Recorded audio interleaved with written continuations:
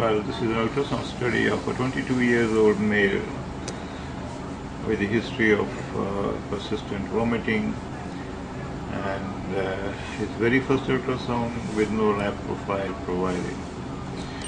Now in front of you is the IVC. This is the IVC. This is the aorta in longitudinal section. This is the proximal IVC, proximal aorta. And this tiny cystic area is right renal artery, which is seen patent. And this is the portal vein, common bile duct.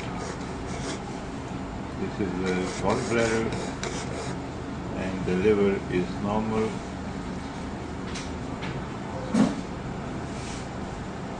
See what is the cause. This is the reason. This is the cause of his persistent vomiting. He has been going through uh, just imagine that uh, he has been uh, going through endoscopies and uh, whatnot. But this is uh, the kidney right, measuring 10.5 centimeter in length and uh, 4.4 centimeter in anterior posterior diameter. See that the echogenicity of the parenchyma is significantly raised as compared to the adjacent renal liver parenchyma. Second finding is the muffling of the central sinus echo complex. Third is the loss of corticomedullary differentiation in this view. Uh, rather, and there is uh, also uh, we don't uh, there is uh, intact capsule seen, and the thickness of the parenchyma is within normal. now you see there are significant uh, prominent cystic area seen just above the area of central sinus echo complex. Yeah, central sinus echo complex fat. This is a magnified view. Imagine the prominence of the renal pyramids. These, these are all pyramids no hydronephrosis, no calculus, uh, calculus seen. You can very well see the prominence of the renal pyramids and uh, this is a case of uh, right renal parenchymal disease. Now let's go uh,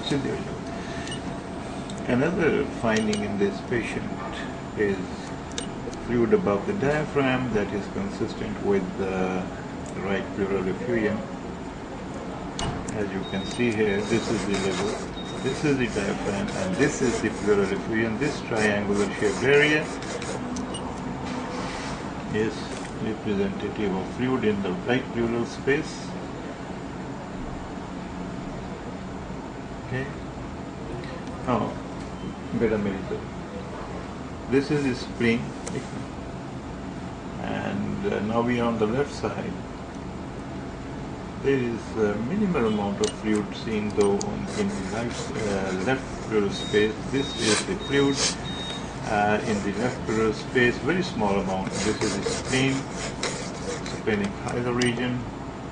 And see the kidney. In left kidney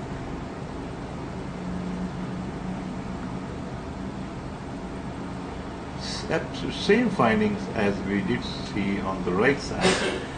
So no need to repeat that. Just apply the same. See the right one again and you will find the same what I have narrated uh, regarding the right kidney and the, the dimension of this kidney is also normal. This is the transverse section of the kidney. And you can see a bit patent vessel.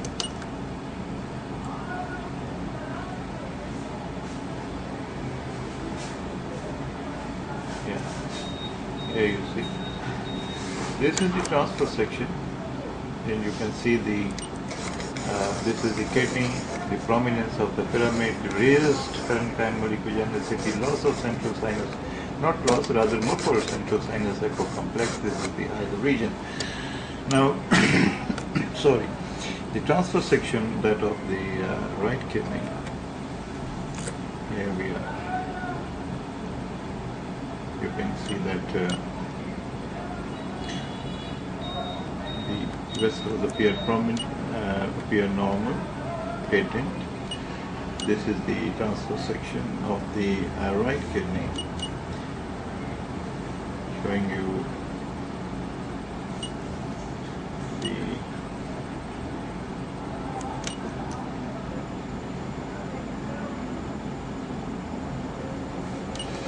so is there any other finding and that is there is uh, minimal amount of fluid seen in the dependent region peritoneal cavity uh, with bowel loops floating in it.